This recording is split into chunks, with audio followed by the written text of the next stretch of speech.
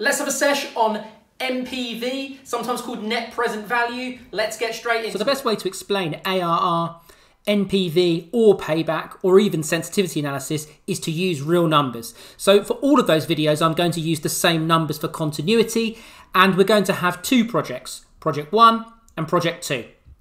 And each project is going to last 4 years, one, two, three, four. And each of those projects has a cost. 100 is going to be the cost of project 1 and 100 is going to be the cost of project 2.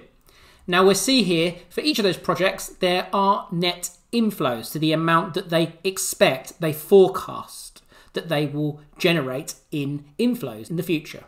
So we have here net inflows for project 1 of 40 in year 1, 40 in year 2, 50 in year 3 and 10 in year 4 and the same on the other side 60 in year 1 for project 2, 10 year 2, 10 year 3 and then a big inflow in year 4 of 80. Now let's calculate the NPV for these numbers. So based on the numbers we used for payback and also for average rate of return, we're now going to use those same numbers to calculate the net present value, the NPV. Before we do that, we need to understand what the time value of money is, TVM. And all time value of money is, is that an identical sum of money is worth more today than it is in a future. A million pounds is worth more today than it is in the future. The reason why is because you have earning potential on that money. For instance, you could stick it in a bank account, in a risk free bank account, and earn interest on it, and it would be more in the future. So that is really the underlying principles of discount factors, is that they're based on interest rates. So discount factors will be given to you in the exam. You need them to be able to calculate the NPV. If you're interested in how to calculate them, I'm just going to go through them quite quickly. So discount factors in year zero will always be one. Discount factors in um, year one based on an interest rate of 10% would simply just be 1 divided by that interest rate, which is 0.1, plus 1.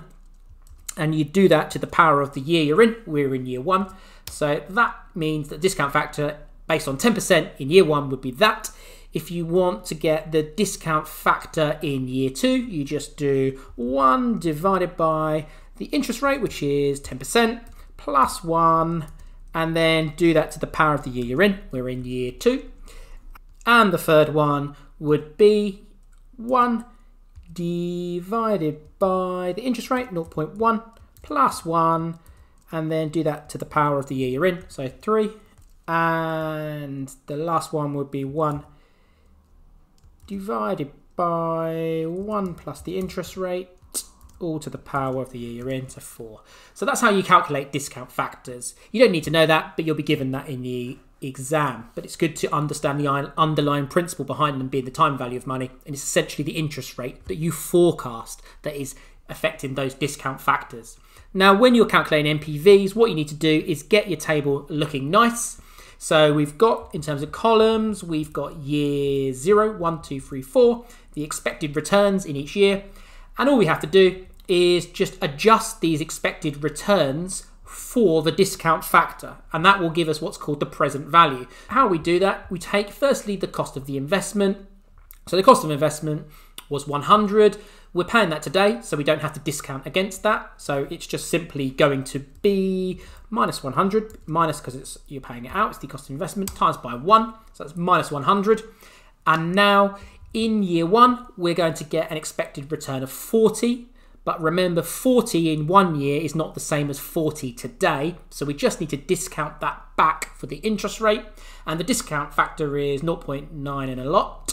So we're just times that number, 0.90909, times that by 40, and it comes to not that, what happened? It comes to 36.36, and then we just repeat that process down. So 40 times by that discount factor, and then 50 times by that discount factor, and 10 times by that discount factor. So when you want to calculate the net present value, all you need to do is add the present values, including the costs, add them all together. So we're just going to put the sum here and we come to 13.81.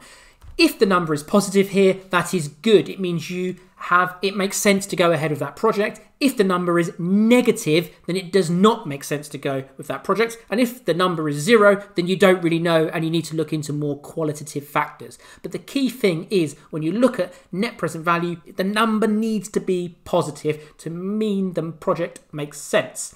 So it looks like project one makes sense. Now let's just rinse and repeat for project two. So we've the discount factors in place and we just need to calculate the expected return each year and then just adjust it for the discount factor. So if we just adjust those each for the discount factor, then we then we add these all up and it comes to plus 24.96 so again, that is a positive number, which is exactly what we want for net present value. And if we really look into it, the NPV is higher in project two than in project one. So we should be going with project two. You want to go the higher NPV, but it has to be positive to make sense. Now let's look at the pros and cons. So in terms of the pros of net present value, well, it takes into account the time value of money, and that's critically important because it looks at what that money is going to be worth. Those future cash flows are really worth. You don't see that in ARR, you don't see that in payback. So that's a massive advantage of net present value. Also, you just know if the number is positive at the end, if the NPV comes out positive, then that means that you should accept the project. And if it is negative, you should reject the project. So it's quite easy, much like payback. The disadvantages of NPV is you're only as good as those forecasts, and there are lots of forecasts involved. The forecast of the project costs, like in ARR, like in payback, you're only as good as how much you estimate that to be. Also, all those inflows in the future, they are simply estimates, like in ARR, like in payback. So you're only as good as them. But the final thing with your forecasts is the interest rates, as we saw earlier on, they will change what the discount factor is. So if you get the forecast wrong on the interest rate, that means the discount factor would be wrong. And if the discount factor is wrong, then that means the cash flows, the present values will be wrong. So I hope that helps, and I'll see you at the next sesh.